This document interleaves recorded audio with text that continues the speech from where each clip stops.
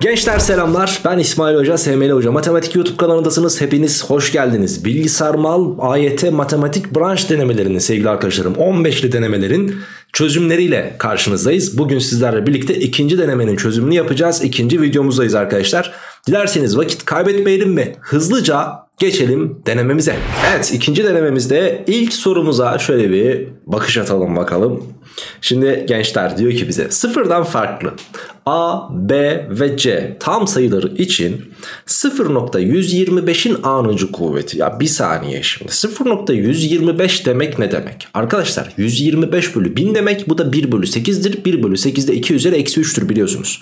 Dolayısıyla 2 üzeri eksi 3'ün bakın burası A'nıncı kuvveti yapar. Çarpı 0.2 de 2 bölü 10'dur. Yani 1 bölü 5 yani 5 üzeri eksi 1 olduğu için burası da 5 üzeri eksi B yapar arkadaşlar. Üstündeki B ile çarparsanız.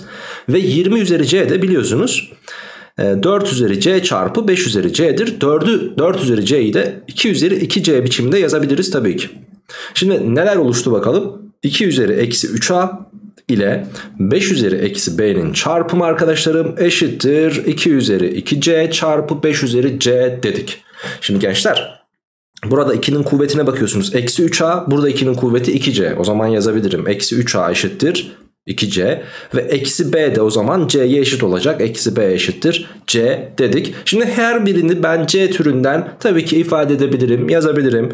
Bizden istenen de a artı b bölü c idi. a gördüğümüz yere bakın şurada a'yı yalnız bırakın. a eşittir eksi 2c bölü 3 yapar arkadaşlar. O halde onu yazıyorum. Eksi 2 bölü 3 c ve B gördüğüm yere de bakın eksi BC ise B eksi C'dir. Dolayısıyla eksi C yazıyorum. Alt kısmında da bir tane bölü C'miz var.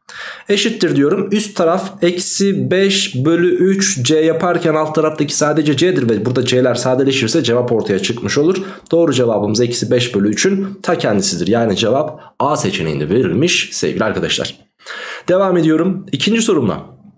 A ve B 3 basamaklı doğal sayılar olmak üzere A artı B A artı 5 sayısının asal çarpanlarının sayısı 4 B artı 2 sayısının da asal çarpanlarının sayısı 3 bakın asal çarpanlardan bahsediyoruz buna göre B eksi A farkı en çok kaçtır şimdi B eksi A'nın maksimum değeri isteniyorsa ben B'yi burada olabildiğince yüksek seçeceğim. A'yı da olabildiğince küçük seçmem gerekiyor. E şimdi A artı 5 dediğimiz sayının bir kere zaten otomatikman 4 tane asal çarpanı var. O zaman bu asalların kuvvetleri de hepsinin 1 olsun diyelim küçük gelsin diye. E madem öyle ben burada şunu kullanırım. A artı 5'i şöyle seçerim. 2 çarpı 3 çarpı 5 çarpı 7 derim. Başka bir şey seçemem arkadaşlarım.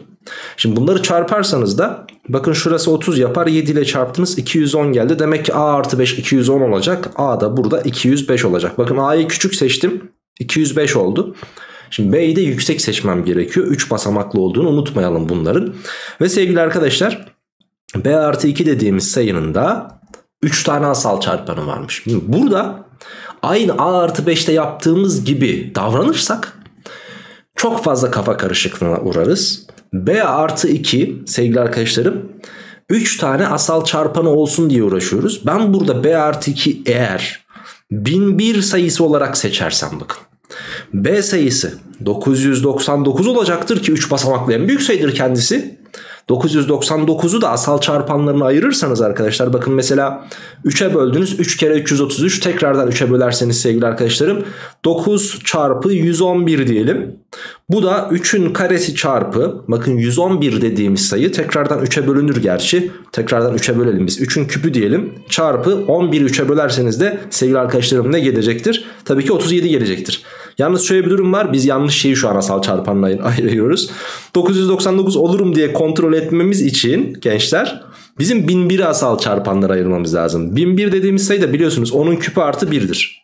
E ben 1'i de 1'in küpü diye yazsam onun küpü artı 1'in küpünü nasıl ayırırız? 10 artı 1 çarpı 10'un karesi eksi 10 kere 1 artı 1 biçiminde ayırabilirim. O halde 10 artı 1 11 yapar. Onun karesi 100'dür. 100'den 10'u çıkardınız 90. 1 eklediniz 91. Bu da 11 çarpı 13 e, çarpı 7'dir arkadaşlar. Yani 3 tane asal çarpan olduğunu görüyorsunuz. Böylelikle B'yi ben 999 seçebilirim. Şu şekilde. Pekala 999 hani Ee, B eksi A en çok kaçtır diye sorulmuştu ya ben B'yi maksimum seçecektim ki zaten 3 basamaklı en büyük sayı seçtik. Daha büyüğü var mı diye kontrol etmeye de gerek yok. 999'dan 205'i çıkaracağız arkadaşlar. Bu da bize cevabı verecek.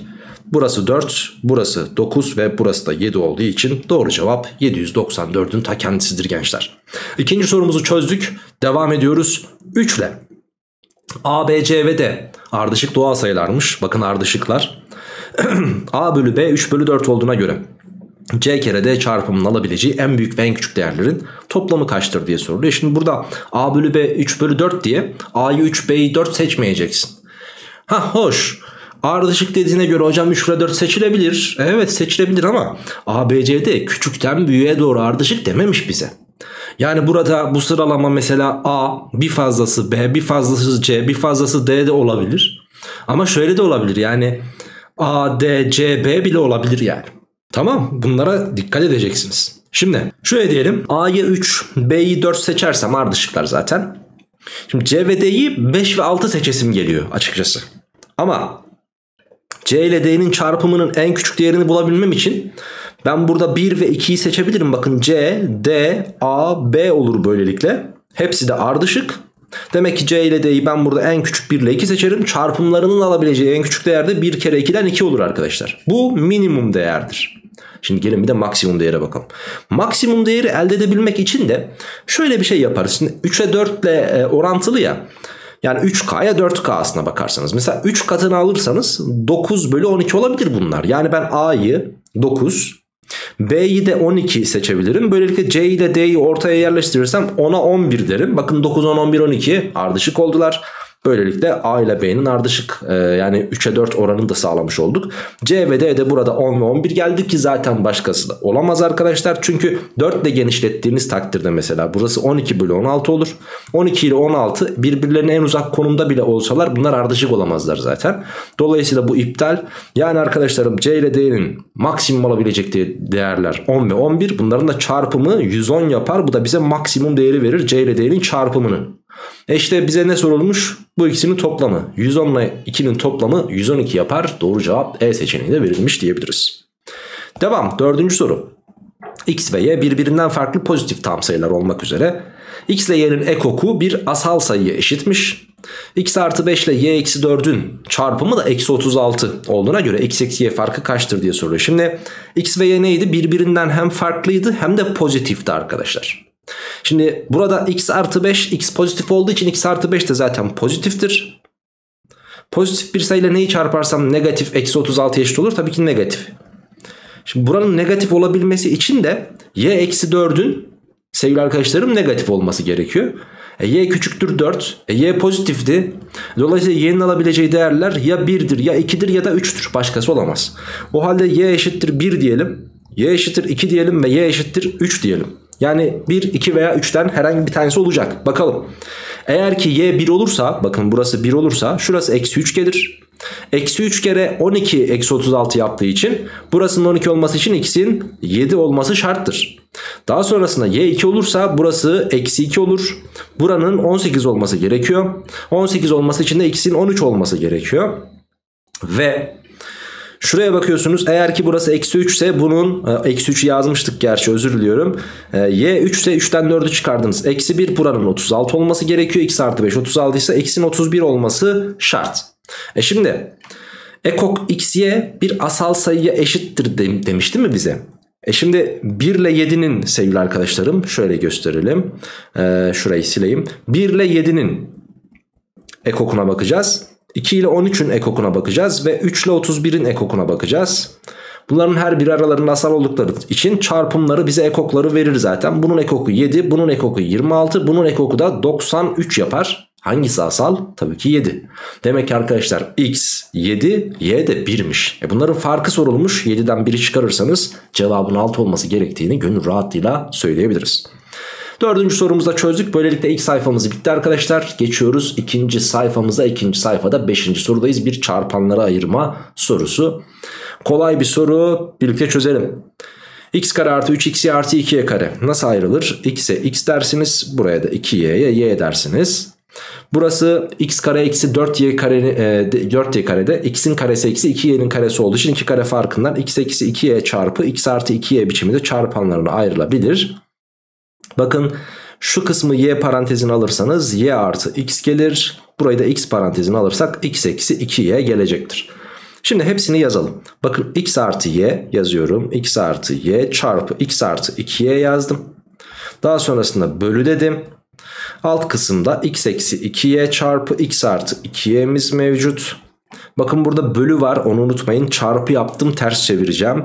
x çarpı x eksi 2y dedim. Yani burada payda da olanı pay kısmına aldım. Pay kısmında olanı paydaya alacağım.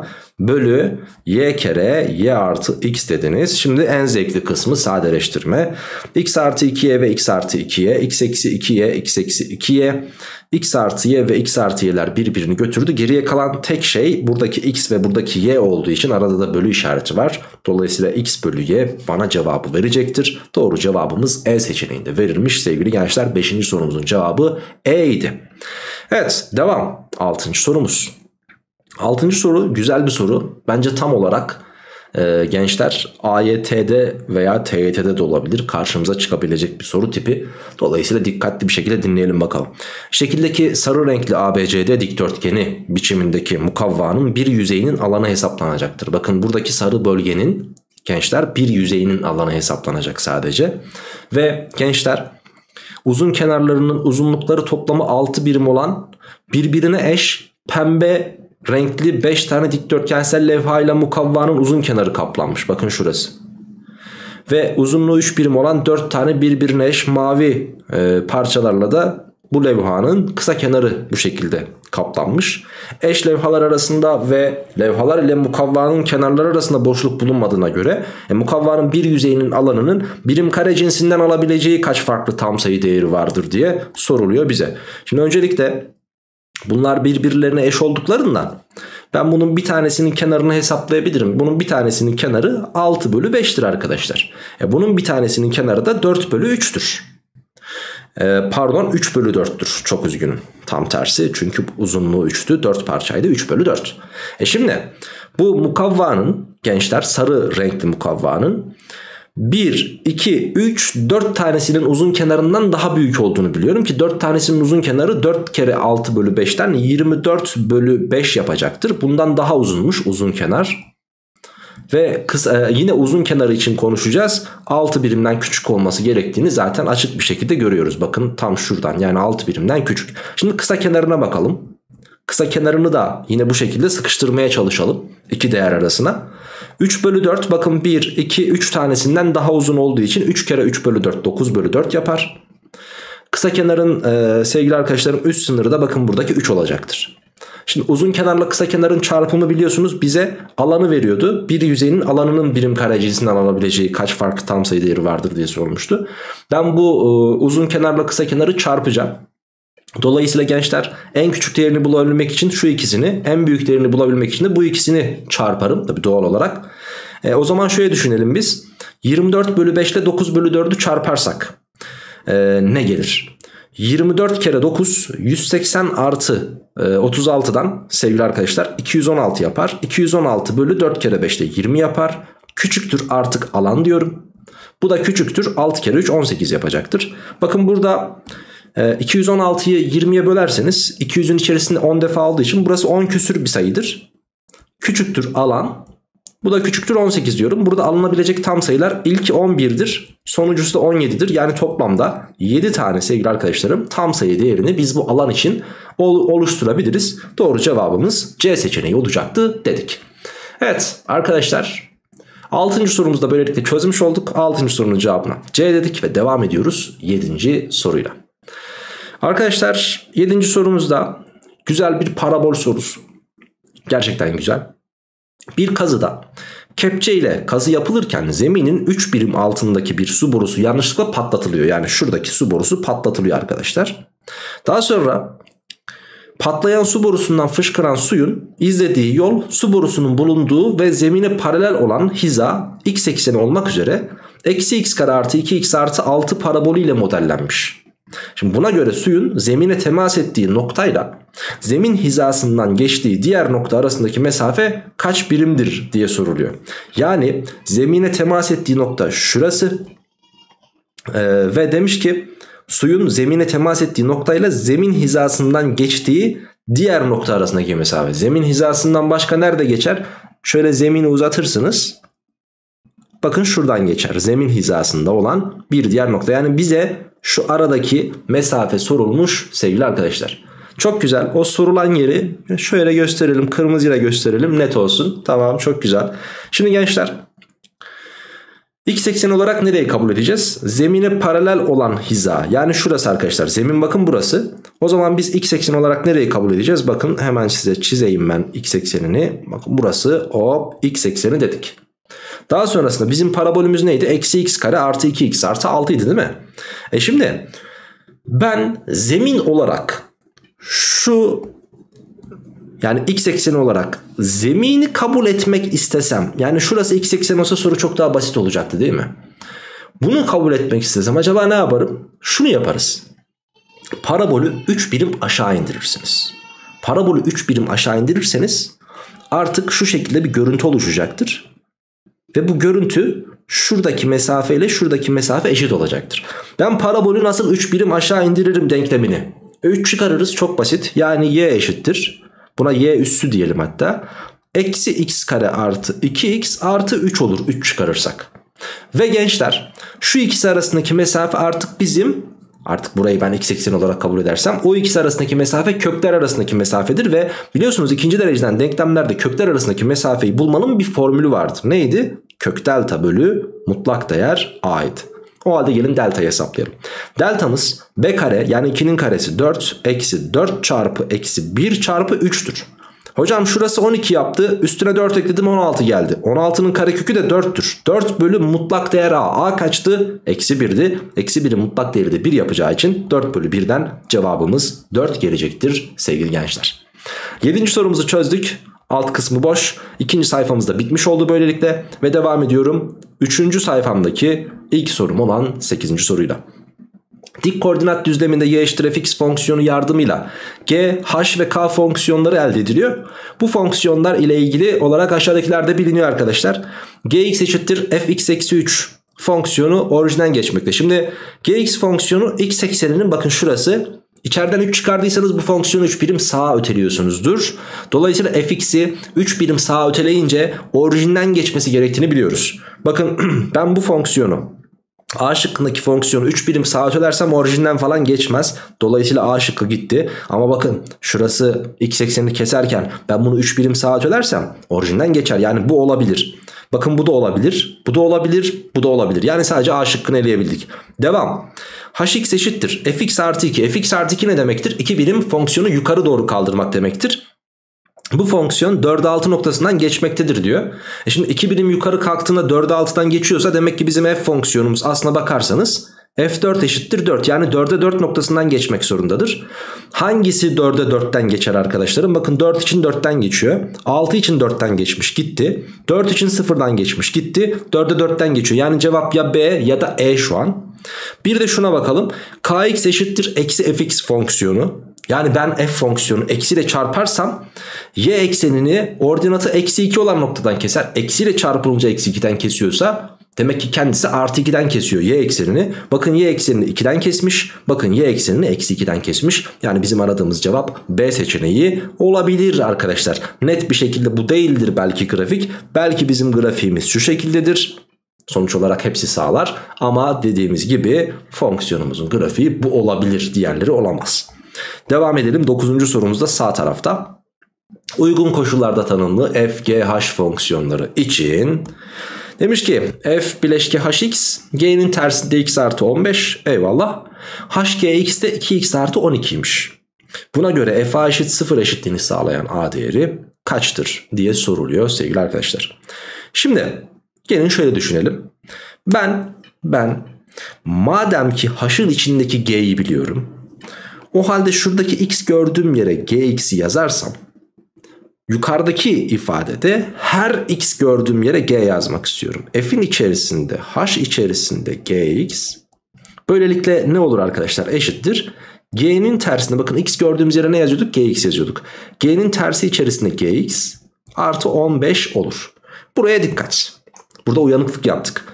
HGX'in ben ne olduğunu biliyorum. Neymiş? 2x artı 12'ymiş. O zaman yerine yazalım. F içerisinde 2x artı 12 eşittir. Bakın G'nin tersinin içerisinde G var. Dolayısıyla bunlar gider ve geriye sadece x kalır. Bu da x artı 15'i verir bize. FA eşittir 0 eşitliğini sağlayan A değeri sorulmuş ya. Bunu sıfıra eşitleyen x değeri kaçtır? Tabii ki eksi 15'tir hocam. E tamam güzel. O zaman ben x gördüğüm yere eksi 15 yazıyormuşum. Burada da yazalım. 2 kere eksi 15 eksi 30 yapar. 12 eklerseniz eksi 18 gelir. Yani f eksi 18 eşittir sıfırmış. E bana diyordu ki f a eşittir sıfırı sağlayan a kaçtır? E gördüğünüz üzere 10, eksi 18'miş. Cevabımız C seçeneği olacaktı. Evet devam ediyorum 10. sorumla. X ve Y hatta X, Y ve Z gerçel sayılar X, Y'den Y de Z'den küçükmüş. Olduğuna göre hangisi her zaman doğrudur diye soruluyor. Şimdi şu kısımla birazcık ilgilenelim isterseniz ha. Bu kısım ilgiye muhtaç duruyor. Şimdi arkadaşlar burada görüyorsunuz iki tane y var. O zaman y parantezini alalım. x eksi z kalır burada. x eksi z'yi yazdım. Büyüktür demiş x eksi z. Anam ne oldu? İki tane x eksi z oldu. Şimdi bir kere sadeleştirme yapılabilir. Tamam onda sıkıntı yok. Ama bu sadeleştirmeyi yaparken de dikkatli olmak gerekiyor. Nasıl bir dikkatten bahsediyorum? Şöyle. Hocam x'ten z çıkarsa küçük sayıdan büyük sayı çıktığı için sonuç negatif olacaktır. Bak bu negatifmiş bu da negatif. E şimdi her iki tarafı aynı sayıya böldüğüm için her iki tarafta eksi bir falan oluşmayacak. Direkt sadeleştirebilirim. Fakat her iki tarafı negatif bir sayıya böldüğümden ne olacak? İşaret yön değiştirecek. Burada bir kaldı unutmayın. Demek ki y işareti yön değiştir küçüktür 1 olacaktır. Y küçüktür 1. Ve şıklara bakıyorsunuz. Her zaman doğru mudur? Evet her zaman doğrudur. Çünkü biz işi sağlama alarak çözüm yaptık. Ve y küçüktür 1 diye kendimiz bulduk zaten. O zaman her zaman doğru olan seçenek tabii ki y küçüktür 1 yani E seçeneği olacaktı. Bu sayfayı da bitirdik. Devam ediyoruz. Bir diğer sayfamızda arkadaşlar yine güzel bir soru. Bence tam olarak böyle TYT'de, MSÜ'de, AYT'nin ilk sorularında çıkabilecek bir soru tipi. Aynı anda ve aynı yerden sabit hızla yürümeye başlayan 3 kişinin belli bir anda başlangıç çizgisine olan uzaklıkları aşağıdaki gibidir denilmiş. Buna göre x yerine yazılabilecek kaç farklı tam sayı değeri vardır? Şimdi öncelikle gençler e, burada x artı 6'nın mutlak değerinin 20 metreden yani 20 birimden daha büyük olması gerektiğini biliyoruz. Dolayısıyla ben şöyle yazarım x artı 6 büyüktür 20 yazarım. Buradan da şunu söyleyebiliriz x artı 6 ya 20'den büyüktür ya da x artı 6 eksi 20'den daha küçüktür dememiz gerekiyor. 6'yı karşıya atarsanız x büyüktür 14 olacaktır. 6'yı karşıya atarsanız x küçüktür eksi 26 olacaktır arkadaşlar. Şu 1 bu da 2. Peki sadece bu kadar mı? Değil. Çünkü daha diğerine hiç dokunmadık dikkat ettiyseniz. Şimdi o zaman arkadaşlar şöyle diyelim x eksi 12 mutlak değer x eksi 12'nin de burada gördüğünüz üzere 20'den daha küçük olması gerektiğini anlıyoruz. O halde yazıyorum x eksi 12'nin mutlak değeri küçüktür 20 dedik. E bu şekilde de mutlak değeri ortadan kaldırmak için Eksi 20 simetrik aralığa oturtuyorduk hatırlarsınız. X eksi 12 bu da küçüktür 20 diyoruz tamam mı? Hocam bunları dedik tamam şimdi ne olacak? X'i yalnız bırakacağız. Yani ben buraya 12 ekleyeceğim. Buraya da buraya da 12 ekleyeceğim. O halde 12 eklerseniz eksi 8 küçüktür x bu da küçüktür 32 olacaktır. Şimdi ikinci aralığımızda işte burası gençler.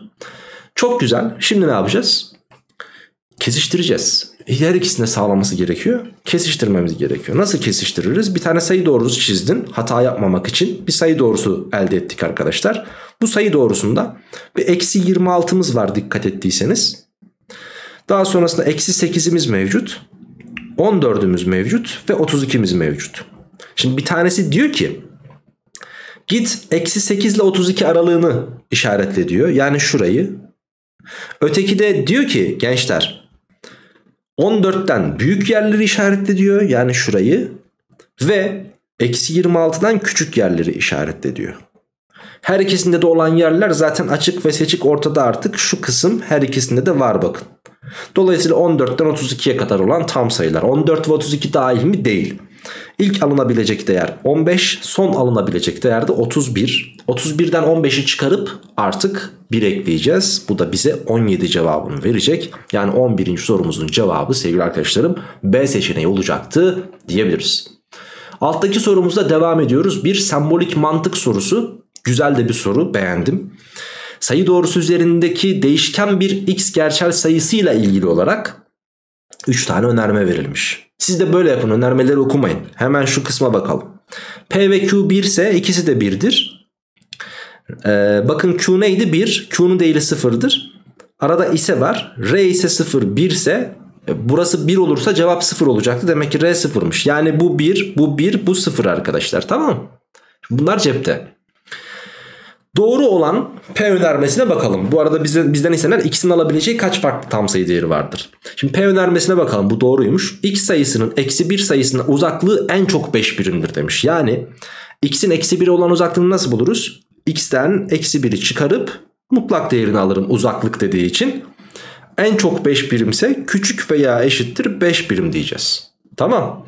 Yani buradan x artı 1'in mutlak değerinin 5'ten daha küçük veya eşit olması gerektiğini anlıyoruz biz açıkçası. Bu cepte. Daha sonrasında devam edelim. Q önermesi doğruymuş. X sayısının sıfıra olan uzaklığı 2 birimden fazladır. X'in sıfır olan uzaklığı x eksi sıfırın mutlak değeridir. x eksi sıfır da zaten x. Dolayısıyla mutlak değer x diyorum. Büyüktür 2. 2'den daha büyükmüş. Yanlış olan R önermesine bakacağız.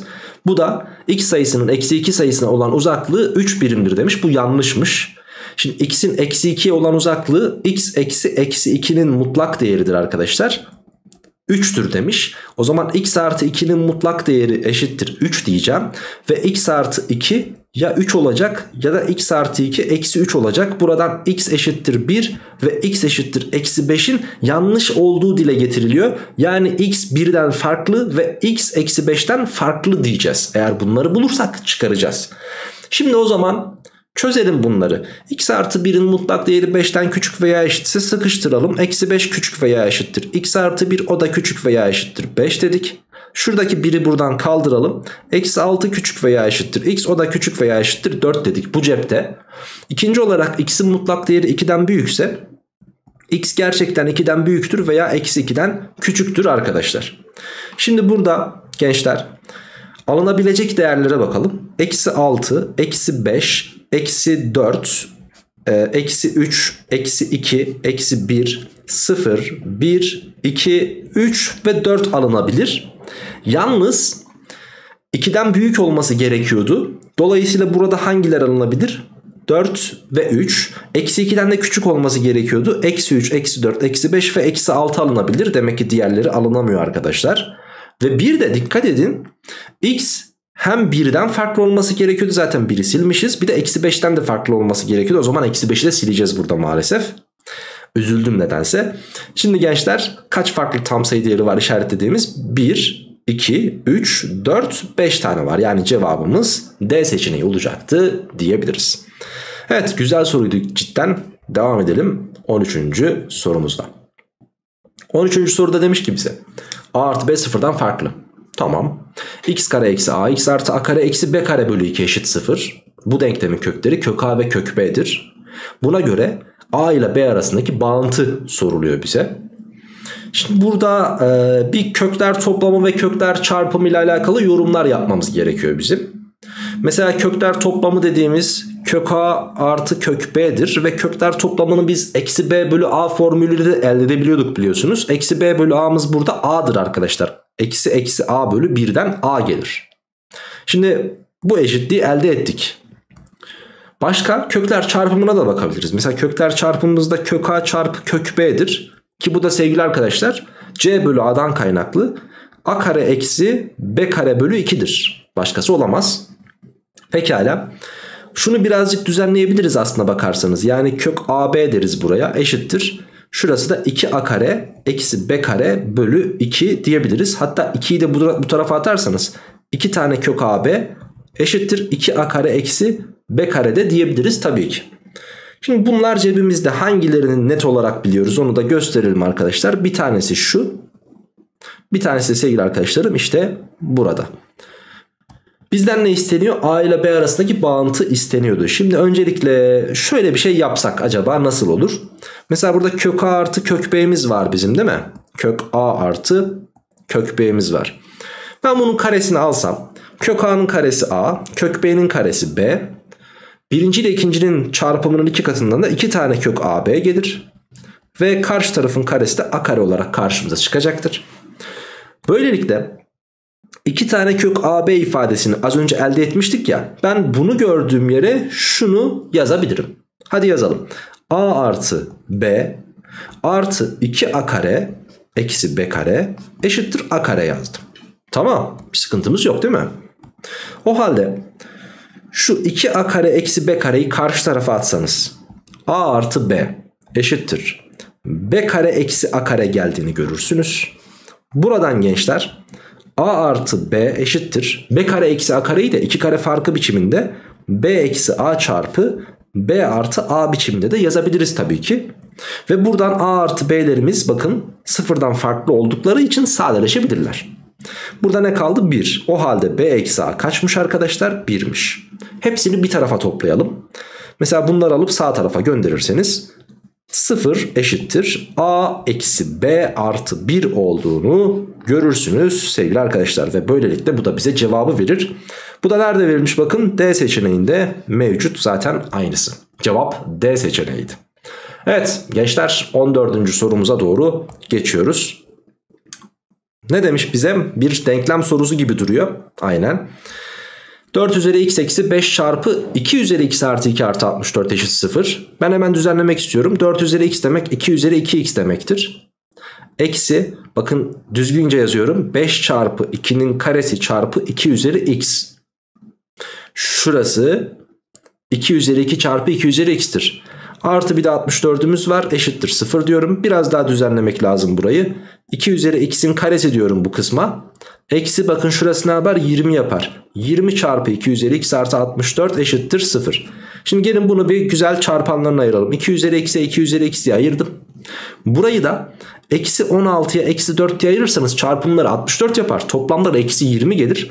O halde 2 üzeri x eşittir 16'dır veya 2 üzeri x eşittir 4'tür arkadaşlar. Buradan x eşittir 4 gelir ve x eşittir 2 gelecektir. 2 tane x'imizi bulduk. Bu denklemin kökleridir. Birbirinden farklı iki tane gerçek kökü vardır demiş doğru. Köklerinin toplamı 6'dır demiş 4 ile 2'nin toplamı 6'dır doğru. Köklerinin çarpımı 64'tür demiş hayır ben bunları çarparsam 8'in ta kendisi gelir 64 yapmaz demek ki bu yanlış. Doğru cevabımız 1 ve 2 olacaktı yani cevap C seçeneğinde verilmişti sevgili arkadaşlarım 14. sorumuzu. Devam ediyoruz bir diğer sayfa, sayfada 15. sorumuzla gençler. Evet demiş ki bu sorumuza da gerçek gerçel katsayılı ve baş katsayısı 4 olan ikinci dereceden bir px polinomu varmış arkadaşlar. m ile n birer gerçel sayı ve n de sıfırdan büyük olmak üzere px eksi mx eksi n polinomunun birbirine eşit iki tane kökü vardır ifadesi bize hemen neyi çağrıştırıyor? Delta'nın sıfır olması durumunu çağrıştırıyor arkadaşlar. Ekstradan bize verilenler var. Neler onlar? P1'in m artı n artı 4 olduğu, P2'nin 13 ve P3'ün 29 olduğu bilgileri var. Sanırım şunlar daha kullanışlı çünkü P1'in M artı N artı 4 olduğunu bulmamız için M, M ile N'yi de ayrı ayrı bulmamız gerekiyor. Ya da M artı N toplamını elde etmemiz gerekiyor. Neyse o bir dursun biz şu ikisiyle ilgilenelim. M kere N çarpımı kaçtır diye sorulmuş. Şimdi öncelikle bizim polinomumuzun baş katsayısı 4'tü ve ikinci derecedendi. O zaman ben bu px polinomunu sevgili arkadaşlarım şu şekilde yazabilirim. 4x kare artı ax artı b diyelim. Önce a ile b'yi bulalım. a ile b'yi bulmak için p2 ve p3'ü kullanabiliriz. Nasıl kullanacağız? Şöyle p2 eşittir diyorum. Yerine yazalım arkadaşlar. 16 artı 2a artı b. Bu kaçmış? 13'müş. Bir de P3'e bakalım arkadaşlar. P3 de 3'ün karesi 9 4 ile çarptınız. 36 artı 3A artı B. Bu da kaçmış? 29. Şimdi öncelikle üsttekine bakalım. 16'yı karşıya atarsanız 2A artı B'nin eksi 3 olması gerektiğini görürüz. Burada da ikincide de 3a artı b'nin 36'yı karşıya atarsak eksi 7 olması gerektiğini görürüz. Üsttekinden alttakini ya da alttakinden üsttekini çıkarırsanız b'ler gider a eşittir eksi 4 olması gerektiğini görürüz. a eksi 4 ise şurada yerine yazarsınız eksi 8 gelir. Eksi 8'e b ekleyince eksi 3 oluyorsa b de sevgili arkadaşlarım 5'miş. Yani biz artık px polinomumuzu bulduk. px eşittir 4x kare. Bakın ax artı b idi. Eksi 4x artı 5'miş diyebiliriz. Pekala bir de bizim elimizde px eksi mx eksi ne? Bakın px'i yazdım. px eksi mx eksi ne ne olur arkadaşlar? 4x kare eksi 4x artı 5 eksi mx eksi n olacaktır. Pekala. Ee, burada m ve n hakkında bir şey daha elde edebiliriz. O da P1 ile onu hiç kullanmadık. Hadi onu da kullanalım. P1 dediğimiz şey arkadaşlar P1 eşittir 4 eksi 4 artı 5 olacaktır. Yani 5'miş arkadaşlar. Yani m artı n artı 4 5 olacakmış. O zaman m artı n kaçtır? Tabii ki 1'dir. m ile n'nin toplamının m ile n'nin toplamının 1 olması gerektiğini gördük. Burada burada n'yi yalnız bırakırsanız m'yi karşı attınız 1 eksi m olduğunu da görürsünüz. E gelin o zaman ben şu ifadede n gördüğüm yere 1 eksi m yazayım. Bakın 4x kare daha sonrasında eksi x parantezini alalım. Şurada bir dördümüz kalır. Burada bir artı m'miz kalır arkadaşlar. Daha sonrasında burada 5'i unutmayın. 5 ve şurası da 1 eksi m. Yalnız önünde ne vardı? Eksi vardı. Dolayısıyla eksi 1 artı m yapar. Şuradaki eksiyi unutmayın. Şu şekilde eksi içeri dağıttınız. N gördüğünüz yere 1 eksi m yazmıştık. Pekala. Şimdi burayı da derleyip toparlarsanız 4x kare eksi x parantezinde m artı 4 ve artı 4 artı m yazabiliriz. Eşittir 0 e, denkleminin iki tane birbirine eşit kökü varsa o halde bu ne demek oluyordu? Deltası sıfıra eşit oluyordu. Deltasına bakalım. B kare yani şunun karesi m kare artı 8m artı 16 eksi 4 çarpı 4 çarpı m artı 4 dedik. Deltayı bulduk eşittir sıfırdır diyorum m kare artı 8m artı 16 içeri dağıtıyorum. Eksi 16m e, eksi 64 yapar. Eşittir 0 düzenlersek m kare eksi 8m 16'dan 64 çıktı. Eksi 48 eşittir 0'dır dedik. Buradan ben bunu m ve m diye burayı da 48'i e, elde edebilmek istiyoruz. 48'i elde etmek istiyoruz. 12 kere 4 dersek olur. Eksi 12'ye artı 4 Çarptınız eksi 48 topladınız eksi 8 güzel. O zaman M ya 12 olur ya da 4 olur. Şimdi M 12 mi 4 mü? Buna karar vermemiz gerekiyor. Arkadaşlar N sayısının pozitif olduğunu biliyorduk. Ve N sayısı 1 eksi M idi unutmayın. Burada ben M gördüğüm yere 12 ve 4'ü yazarsam. Mesela 12'yi yazalım. N eşittir 1 eksi burada şurası 12 burası eksi 4 arkadaşlar. Kusura bakmayın özür dileriz. Hemen düzeltelim. M eşittir eksi 4. Şimdi şurada yerine yazıyoruz. 1 eksi 12 dediniz. Eksi 11 geldi. N negatif oldu. Olmaz. Ya da n eşittir 1 eksi eksi 4 dediniz. Buradan 5 geldi. Demek ki n sayısı kaçmış? 5 olacakmış. N karşılık m'nin eksi 4 olmasına karşılık. M kere n sorulmuş. Eksi 4 ile 5'i çarparsanız eksi 20'nin cevap olması gerektiğini gönül rahatlığıyla söyleyebiliriz. Evet işlemi en uzun soruydu e, denemede 15. soru. Geçiyorum 16. sorumuza. Baş katsayısı 1 olan ikinci dereceden bir px polinomunun katsayılar toplamı p2'dir. Şimdi katsayılar toplamı denildiği zaman x gördüğümüz yere biliyorsunuz 1 yazıyorduk. Demek ki p1 p2'ye eşitmiş. E bu ikinci derecedendi. İkinci dereceden biliyorsunuz e, sevgili arkadaşlarım denklemler ikinci dereceden bir fonksiyon px de bir fonksiyon sonuçta. İkinci dereceden fonksiyonlar bize parabol veriyorlardı ve bu parabolün tepe noktası birbirine eşit olan iki tane görüntünün tam ortasındaki apsistir. Yani tepe noktamızın apsisi 1 ile 2'nin tam ortasındaki sayı olan 3 bölü 2'dir diyebiliriz. Şimdi baş katsayısında 1 olduğunu biliyorduk. Dolayısıyla px polinomumuz bizim x kare eksi 3x ile başlayacaktır. Sebep çünkü e, baş katsayısı 1 olduğu için zaten x kare ile başlaması gerektiğini biliyoruz ama tepe noktası 3 bölü 2 ise eksi b bölü 2a formülünden bu kısmın eksi 3 olması gerekiyor. Artı bir de buraya a diyelim arkadaşlar a'nın kaç olduğunu bilmiyoruz. Sıfırlarından bir tanesi de eksi p sıfırmış. Şimdi P0 dediğimiz şey bizim e, burada elde ettiğimiz parabole göre A'dır arkadaşlar. O zaman benim sıfırlarımdan bir tanesi eksi A'dır. Çünkü eksi P0'dır demiş. Yani benim köklerimden bir tanesi eksi A ise ben burayı çarpanlarla ayırırken x'e x'e ayırdım ya. Buranın A diye ayrılması gerekiyor ki kökümüz eksi A gelsin. Şimdi dikkat edin ben şuraya yazacağım ifade Bununla a'yı çarptığım zaman a'yı verecek. Topladığım zaman da eksi 3'ü vereceğinden bakın toplanıldığı zaman eksi 3'ü vereceğinden eksi 3 eksi a'dır derim ki şu ikisinin toplamı bize eksi 3'ü verir. E böylelikle şunu da biliyoruz ki ben şununla şunu çarptığım zaman da a'yı elde etmem gerekiyordu. E çarpalım o zaman eksi 3a eksi a kare eşittir a diyelim.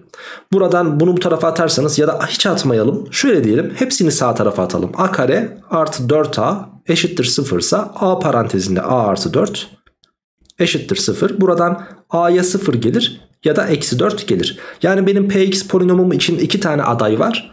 px x kare eksi 3x tir a 0 ise ya da px x kare eksi 3x eksi 4'tür arkadaşlar.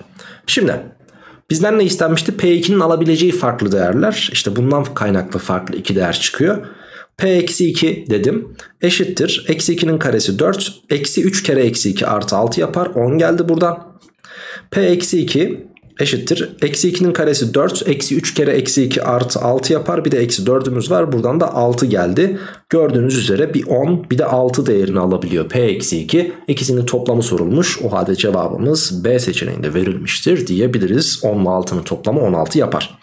Evet Arkadaşlarım devam ediyorum 17. soruyla bir sözlükte yer alan kelimelerden en az iki sesli harf içerenler A kümesini, en çok 4 sessiz harf içerenler B kümesini, eşit sayıda sesli ve sessiz harf içerenler de C kümesini oluşturmakta. Buna göre A kesişim B fark C kümesinin elemanlarından bir tanesi değildir aşağıdakilerden hangisi diye sorulmuş. Şimdi A kesişim B demek şu demek en az 2 sesli harf içersin ve en çok 4 tane sessiz harf içersin istiyor. V var arada. C kümesini çıkardığına göre eşit sayıda sesli ve sessiz harf içeren bir kelime olmasın istiyor. Buraya bakıyorsunuz 4 tane sessiz 2 tane sesli harf var. Dolayısıyla bu olur. 2 sesli 3 sessiz var. 4 tane sessiz 2 tane sesli var. 2 tane sesli ve bir tane sessiz harf var ki e, bu da sağlar arkadaşlar. Ama buraya bakıyorsunuz 3 tane sesli 3 tane de sessiz harf var. Oysa ki biz C kümesini çıkaracaktık. C kümesi de eşit sayıda sesli ve sessiz harf içerenler vardı. C kümesini çıkardığımıza göre böyle bir elemanın bu küme içerisinde yer almaması gerekiyordu. Cevabımız D seçeneğiydi. Geçtim 18'e.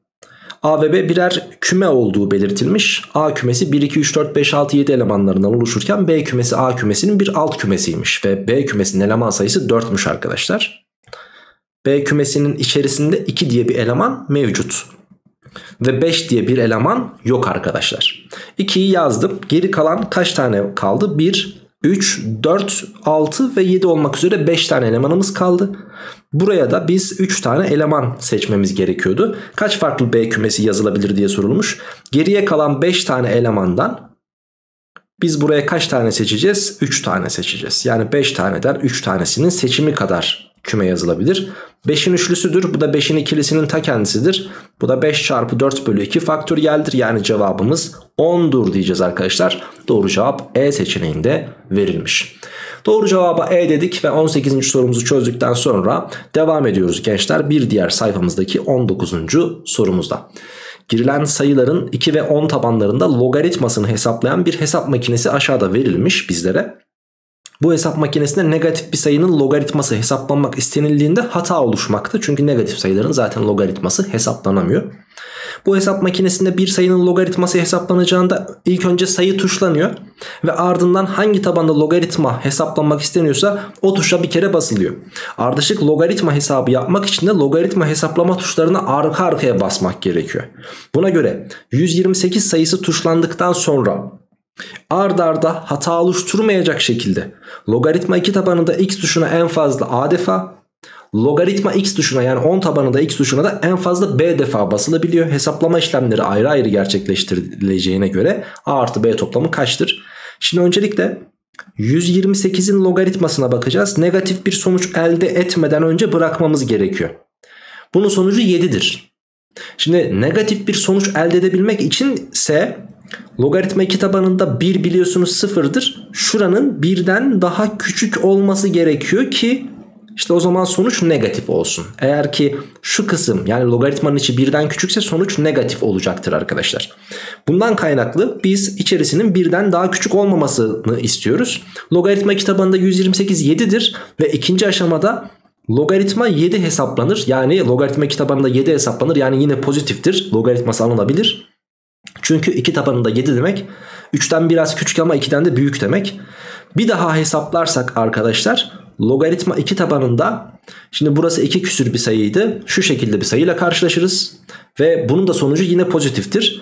Ve 2 e, küsür bir sayı olduğu için birden biraz büyüktür. Logaritma 2 tabanında birden büyük bir sayı sevgili arkadaşlarım yine logaritması hesaplanabilir ve pozitiftir. Pozitif olduğu için de logaritma 2 tabanında bakın şurası artık ee, hani 0 ile 1 arasında bir sayıdır. Logaritma kitabında 0 küsür bir sayı. Artık ben 2'nin bir kuvvetini alıp sevgili arkadaşlarım 0 küsür bir sayı elde etmek istiyorsam artık 2'nin ben negatif kuvvetini almam gerekiyor. Ve bundan kaynaklı da bunun sonucu negatif çıkacaktır. Negatif çıkacağı için artık yeni bir logaritma tuşuna daha basamayız. Çünkü hesap makinesi hata verecektir. Bakın 1, 2, 3, 4, 5 defa logaritma tuşuna basabildik. Yani burada A defa dediği 5 defa. Şimdi geçelim ikincisine. Onluk tabanını alalım logaritmaların. Logaritma 128 dedim. Ki kendileri bir küsür bir sayıdır. Logaritma bir küsür bir sayıdır arkadaşlarım. Ee, pardon 2 küsür çok özür dilerim. Çünkü log, log 102 idi çünkü. Logaritma 2 küsür bir sayıdır. Tekrardan logaritmasını alırsam onluk tabanda logaritmasını alırsam sevgili arkadaşlarım. Bu bize logaritma birden daha büyük olduğu için pozitif bir sonuç verecektir. Yani logaritma yine pozitif bir sayının logaritmasını alacağım ama tabi doğal olarak artık basit kesir olduğu için sıfır küsürlü bir sayının logaritmasını almam gerekiyor. E, bunun sonucu negatif çıkacaktır. Bunun sonucunu negatif buluruz ama buradakinin tekrardan logaritmasını alamayacağımız için 1, 2, 3 defa bastık deriz. Demek ki bu da 3'müş arkadaşlar. 5 artı 3 sorulmuş bize. Doğru cevabımız 8 olacaktı gençler. Evet altta sorumuz yok. 20. sorumuzu sağ üst tarafta çözelim ama ondan önce şu kısmı bir temizleyelim. Gençler tanımlı olduğu aralıkta çok güzel bir soru çok beğendim. Basit ama etkili bir soru. Tanımlı olduğu aralıkta f ln x küp eşittir ln x üzeri 6 çarpı e fonksiyonu veriliyor. Buna göre bu 3 tane değerden hangileri birer tam sayıdır diye sorulmuş. Şimdi f ln x küp demek f 3 çarpı ln x demek aslına bakarsanız 3'ü başa atarız. Bu da ln x üzeri 6 artı ln e demektir. Bakın çarpılmış ln'in içi ben onları toplayarak ayırdım birbirinden. Ve bu da f 3 çarpı ln x eşittir. 6 tane ln x artı ln neydi? 1'di. F 3 tane ln x'i de 2 çarpı 3 ln x artı 1 biçiminde yazarsam fonksiyonu görebilirim. Fonksiyonu görmek demek ne demek? Yani şuradaki ifade a ise şurası da a'dır ve artık f a eşittir. 2a artı 1'dir denilebilir. Çok güzel. Şimdi fonksiyonumuz ortaya çıktı. Tek tek getirip 1 bölü 2'yi 1 bölü 3'ü ve 1 bölü 4'ü yerine yazmamız gerekiyor. 1 bölü 2'yi yazarsanız f 1 bölü 2 eşittir 2 gelecektir. Yani bir tam sayıdır. f 1 bölü 3 yerine yazarsanız 2 bölü 3 artı 1'den tam sayı gelmez. 1 bölü 4'ü yerine yazarsanız da 2 bölü 4 yani 1 bölü 2 artı 1'den 3 bölü 2 gelir. Bu da bir tam sayı değildir. Cevabımız yalnız 1 olacaktı sevgili arkadaşlar. 21. sorumuz. Bu soruda ise e üzeri eksi ln x demiş. Burada da e üzeri 1 var bakın. E, dolayısıyla ben burayı eksi e, e üzeri eksi ln x eksi 1 biçiminde yazabilirim. Eşittir diyorum. x kare çarpı x üzeri ln x dedik. Hatta bunu da aynı e, aynı kuvvette birleştirmek için aynı tabanda 2 artı ln x diye yazabilirim. Şimdi gelin her iki tarafın ln'ini alalım arkadaşlar. Yani şu şekilde bakın şunu şuradan biraz uzaklaştırayım ben. Şöyle.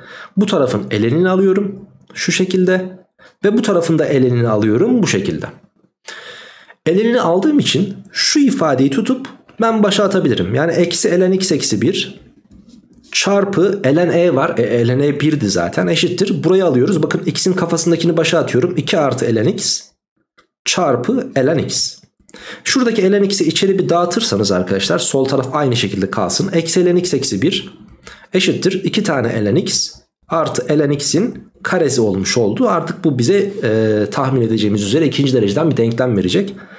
ln x'in parantez karesi şunu şu tarafa atarsanız artı 3 tane ln x bunu da bu tarafa gönderirseniz artı 1 eşittir 0 görürsünüz. Bizden istenen şey x değerlerinin çarpımıydı. Ben burada kökleri ln, e, ln x1 ve ln x2 olan bir ikinci dereceden denklem elde ettim. Logaritmaların tabanları aynıysa ve toplanıyorsa içleri çarpılıyor unutmayın. O zaman ben ln x1 ile ln x2'nin toplamını bulayım ki kökler toplamıdır bu. Eksi 3'ü verir bize eksi b bölü a'dan. Bu da ln x1 çarpı x2 olduğundan eşittir eksi 3. Tabanı da e olduğundan e üzeri eksi 3 bize x1 çarpı x2'yi verecektir ki e üzeri eksi 3 dedik buna. Bizden de zaten x değerlerinin çarpımı istenmişti. X değerlerinin çarpımı e üzeri eksi 3 olarak karşımıza çıkmış oldu. Doğru cevap D seçeneği olacaktı. Evet 21. sorumuzda çözdük artık sonlara doğru yaklaştık. Devam ediyorum 22. sorumda. AN sevgili arkadaşlarım aritmetik ve BN de geometrik bir diziymiş. A2 B1'e A4 artı A5 B2'ye 3 tane A14 artı A1 de B3'e eşitmiş. Buna göre BN dizisinin ortak çarpanı hangisi olabilir diye sorulmuş. Öncelikle aritmetik diziden ilerleyelim arkadaşlar. Her birini de A1 cinsinden yazalım çünkü burada A1 kullanılmış. A2 dediğimiz şey biliyorsunuz ki A1 artı R'dir. İşte bu B1'e eşitmiş arkadaşlar. Hemen şunu şöyle yanına yaklaştırıverelim. Ekstradan bir şey yazmayalım. Kalabalık görünmesin. A4 dediğimiz şey A1 artı 3R. Bakın şöyle gösteriyorum. Burası da A1 artı 4R'dir. Bundan kaynaklı toplarsanız bunları 2A1 artı 7R'yi elde ederiz. Bakın şurası A1 artı 13R'dir. 3 ile çarparsanız 3 tane A1. Bir tane de A1 burada var. Eşittir diyorum. 4 tane A1 3 kere 13R'de artı 39R yapacaktır. Şimdi gelelim kuru fasulyenin faydalarına. B1, B2 ve B3 bunlar geometrik dizinin ardışık 3 terimi hatta ilk 3 terimi. Ve ben geometrik dizi olduğu için bunlar bununla bunu çarparsam eğer buradakinin karesine eşit olacağını da biliyorum. O halde A1 artı R ile bakın A1 artı R ile 4A1 artı 39R'yi çarpacağım. Bu da bana bunun karesini verecek. Karesini açarak yazalım. 4A1'in karesi artı 28 tane A1 çarpı R artı 49 R'nin karesi dedim. Bundan sonraki artık işlemler bizim işlem yeteneğimize kalıyor. İçeri dağıtacağız. Bakın şununla şunu çarptım. 4A1'in karesi geldi. Bununla bunu çarptım. 39A1R oldu. 39A1 çarpı R artı şununla şunu çarptım. 4A1R geldi. Artı 39 R kare geldi arkadaşlar. Karşı tarafta da 4 tane A1'in karesi artı 28 tane A1 çarpı R ve 49 tane R'nin karesi mevcut.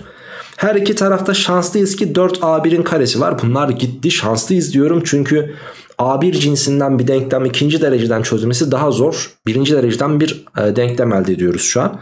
39A1R ile 4A1R'yi toplarsanız 43A1R gelir. Artı 39R'nin karesi var. Karşıda ise 28A1 çarpı R ve 49 R karemiz mevcut.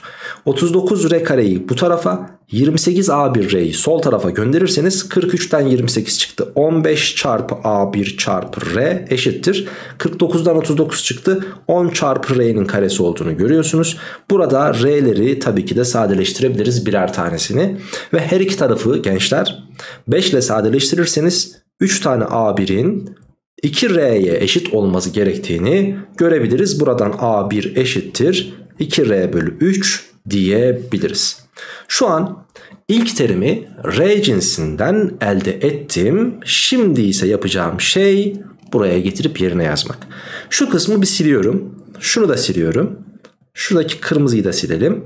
Bakın arkadaşlar madem A1'i biliyorum neydi? 2R bölü 3'tü arkadaşlarım burada. Yerine yazalım. 2R bölü 3 ile R'yi toplayacağım.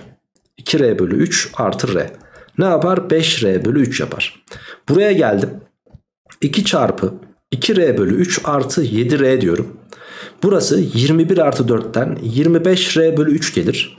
Buraya bakıyorum. 4 çarpı 2R bölü 3 artı 39R diyorum. Ee, burada 39 kere 3 117 yapar. 8R eklerseniz 125R bölü 3 gelir. Dikkat ettiyseniz zaten 5, 5 ile çarparak bunu 5 ile çarparak bunu elde ediyorsak buradaki B1, B2, B3 ilk iş terimi verilen geometrik dizinin e, ortak çarpanı tabii ki 5 ile çarpılarak ilerlediği için 5 olacaktır arkadaşlar. Doğru cevabımız da D seçeneğinde böylelikle verilmiştir diyeceğiz. Devam ediyorum 23. soruyla. İlk terimi A1 olan ve tam sayılardan oluşan bir AN dizisi her N pozitif tam sayısı için AN artı 1 AN bölü 2 eğer ki AN çiftse 9 çarpı AN artı 7 eğer ki AN tekse bunu kullanıyoruz. A1 32 olduğuna göre A 2020 kaçtır diye soruluyor. Şimdi A1 kaçmış arkadaşlar? 32. Gelin A2'ye bakalım. A2 için bakın en gördüğüm yere 1 yazmam gerekiyor. A1 çiftse demiş. E, A1 32 idi. 32 bölü 2'den burası 16 olur. A3 de bunun yarısı olacaktır. 16 çift olduğu için 8. 8 de çift olduğu için A4 bunun yarısı olacaktır. 4. A5 de yine A4 çift olduğu için 2 ve A6 sevgili arkadaşlarım bu da çift olduğu için 1'e eşit olacaktır. Şu an tek bir sayı yakaladık o da 1. Artık A7 için A6'yı kullanacağım 1. E burası tekse yerine yazıyor 9 kere 1 9 7 ekledim 16. Şimdi bunu şu hizada yazmak istiyorum. Sebebini anlayacaksınız birazdan. A7 16 bulundu ya. A8 nedir arkadaşlar? Tabii ki 8'dir. Bakın şunun aynısı gelecek. Çünkü 16 bölü 2 gelecek yine. O zaman A9 nedir? Tabii ki 4'tür. A10 kaçtır? 2'dir ve A11 yine 1'dir. Yine başa döneceğiz. A12 eşittir 16 biçiminde. Şimdi burada 1'den 2020'ye kadar 2020 tane terim var. Ve bu 5'te bir tekrar olayını arkadaşlarım burada bozan tek şey A1. O zaman bu A1'i görmeyelim. İlk terimden itibaren yani A2'den itibaren 2020. terime kadar 2019 tane terim vardır. Ve 2019 tane terim 5'te bir kendini tekrar ederek ilerlediğinden 5'e bölerim. Kalanımız burada 9'un 5'te bölümünden kalanla aynı olduğu için 4'tür. Ve bu demek oluyor ki 2019. terimle 4. terim aynıdır. E bakıyorsunuz 4. terim yalnız A4'ten bahsetmiyorum. Şuradan itibaren 4. terimden bahsediyorum. 1, 2, 3, 4 yani cevabımız 2 olacaktır diyebiliriz sevgili gençler. Güzel soruydu. Güzel iki tane dizi sorusu çözdük. E, üstteki ve alttaki ciddi anlamda güzel sorulardı. Devam ediyorum 24. sorumla. 5 tane kardeş 39 tane özdeş bilyenin tamamını paylaşacaklar. Herhangi iki kardeşin aldığı bilye sayısı arasındaki fark en fazla 2 olacak şekilde paylaşım yapılacak. Buna göre bu paylaşım kaç farklı şekilde yapılabilir diye sorulmuş. Öncelikle 39 5'e tam bölünmüyor. Ama 35 5'e tam bölünüyor. 35'i 5'e bölersek her birine 7 tane düştüğünü görelim önce. Ama 4 tane de biliyorsunuz sevgili arkadaşlarım paylaştırmamız gereken bilye var. O zaman ilk 4'üne birer tane daha vererek şu şekilde 8 8 8 7 yapalım. Artık şurası iptal.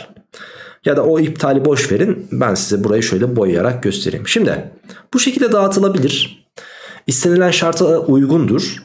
Ama farklı şekillerde de dağıtılabilir. Ee, örnek veriyorum.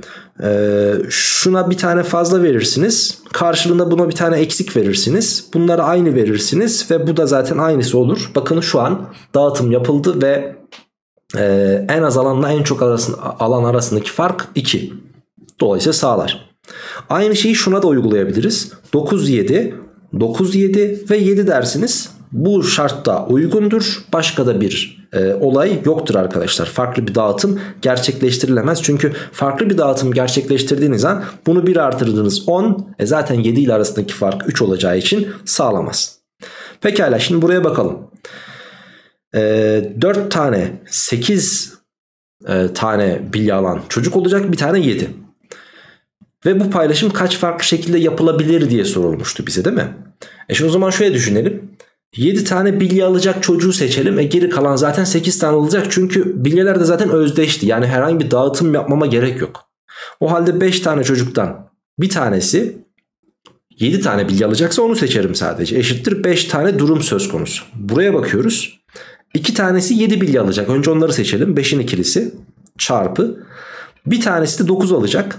E 5'in ikilisiyle seçtim. Geriye 3 kişi kaldı. 3 kişiden herhangi birini seçtim. Sen de 9 bilgi al dedim. Geri kalanlar zaten geri kalanlar olduğu için 2'nin ikilisi de diyebilirsiniz. Zaten 8 bilgi verilecekti. Burada da 5 kere 2 10. 5'in ikilisi 10. 3'ün ikilisi 3 olduğu için 10 kere 3'ten 30 durum söz konusu. Şuraya bakıyoruz. 2 tane 9 adet bilgi alacak çocuk var. Dolayısıyla 5 kişiden herhangi ikisini seçtim. Geri kalanlar 3 kişiden 3'ü de 7 tane bilgi alsın dedim. Burası da bize onu verecektir. Bu paylaşım kaç farklı biçimde yapılabilirmiş arkadaşlar? 5, 30 daha 35, 10 daha 45 biçimde yapılabilir. Yani 24. sorumuzun cevabı da B seçeneği olur deriz. Ve devam ediyorum 25. sorumuzda. Bir öğretmen bir öğretmenimiz var. İki kişilik iki farklı sıraya iki kişilik iki tane farklı sıra varmış arkadaşlarım. Şöyle bir iki kişilik ve yine şu şekilde iki kişilik iki tane sıra düşünelim. Dört tane öğrenciyi Üçü kız, üçü erkek olan 6 kişilik öğrenci grubundan 3 tane kız ve 3 tane erkek olan 6 kişilik bir öğrenci grubundan 2 tane kız ve 2 tane e, erkek öğrenciyi oturtacak. 4 tane öğrenci. Ha tamam onu söylememiş. Buna göre bu öğretmen aynı sırada oturan öğrencilerin cinsiyeti aynı olacak şekilde. Yani kız kız erkek erkek olacak biçimde. Çünkü sıraların tamamı da erkek oturamaz. 4 tane erkek yok. E, sıraların tamamında 4 tane kız oturamaz çünkü 4 tane kız yok. Dolayısıyla kız kız erkek erkek veyahut erkek erkek kız kız biçiminde oturtacağız. Öncelikle şu sıraya oturacak kızların seçimini yapalım. Bu sıraya kızlar 3 tane kız olduğu için 3'ün ikilisi biçiminde seçilebilir. Ee, daha sonrasında bunlar iki faktöriyel biçimde sıralanabilir. Çarpı buradaki erkekler 3 erkek arasından 3'ün ikilisinden seçilir. Çarpı 2 faktöriyel biçimde sıralanır. Tüm bunları bulduktan sonra çarpı 2 diyeceğim. Çünkü erkekler bu tarafa kızlar bu tarafa oturabilirdi. O halde gençler 3'ün ikilisiyle 2 e, faktöriyelin çarpımı 6 yapar. E burası da 6 36 yaptı. Çarpı 2 derseniz 72 bize cevabı verecektir sevgili arkadaşlar. Yani cevabımız C seçeneğinde mevcut dedik. Bir sonraki sorumuz 26. soru. Ve sevgili arkadaşlarım bu sorudan sonra trigonometriye başlıyoruz. Trigonometriden itibaren de geometri çözümleri olduğu için geometri sorularının çözümlerini Kenan hocanız Kenan Karayla Geometri kanalında kendi kanalında sizler için yapıyor arkadaşlarım. Zaten paralel biçimde yayınlıyoruz videoları. 26. sorumuzun çözümünü de yapalım ve videomuzu noktalayalım. A kümesi ve B kümesi verilmiş. A kartezyen çarpım B kümesinin elemanlarından bir tanesi rastgele seçiliyor seçilen elemanı oluşturan bileşenlerin toplamının negatif olduğu bilindiğine göre bileşenler toplamının tek sayı olma olasılığı nedir? Nedir bu bileşenler? Negatif toplamları negatif olan bileşenler nedir? Mesela eksi 1'in yanına yukarıdaki herhangi bir sayıyı seçersem toplamları negatif olmaz. Demek ki eksi 1 yok. Eksi 2'nin yanına sadece ama sadece 1'i seçersem toplamları negatif olacaktır. Eksi 3'ün yanına 1'i ve yine eksi 3'ün yanına 2'yi seçersem toplamları negatif olur. Eksi 4'ün yanına sevgili arkadaşlar 1'i seçerim. Eksi 4'ün yanına 2'yi de eksi 4'ün yanına 3'ü de seçebilirim ki böylelikle toplamları negatif olur. Başka bir ihtimal yok. Demek ki tüm durum 6 taneymiş. Toplam 6 tane seçim var çünkü. Peki istenen durum neydi? Bileşenler toplamının tek sayı olma olasılığı. Hadi gelin. Şu ikisini toplayın. Eksi 1. Topladık eksi 2. Topladık eksi 1. Topladınız eksi 3. Topladınız eksi 2. Topladınız eksi 1. Kaç tanesi arkadaşlarım burada e, bizden istendiği gibi tek sayı? Eksi 1, eksi 1, eksi 3 ve eksi 1. 4 tanesi tek olduğu için istenen durumda 4'ün ta kendisidir. O halde cevap da 4 bölü 6'dır. Sadeleştirilirse 2 bölü 3 yapar. Yani cevabımız E seçeneğinde verilmiştir diyebiliriz. Hem de gönül rahatlığıyla. Evet gençler tüm matematik sorularını bitirdik. Artık denemenin geri kalanı Kenan Karayla Geometri YouTube kanalında Kenan Hoca'nın sizler için e, bu denemenin çözümlerini geometri yapıp tamamlayacak arkadaşlar. Kenan Hoca'ya benden selam söyleyin. Hoşça kalın, sağlıkla kalın ve tabii ki bol bol matematik çalışmayı da lütfen unutmayın.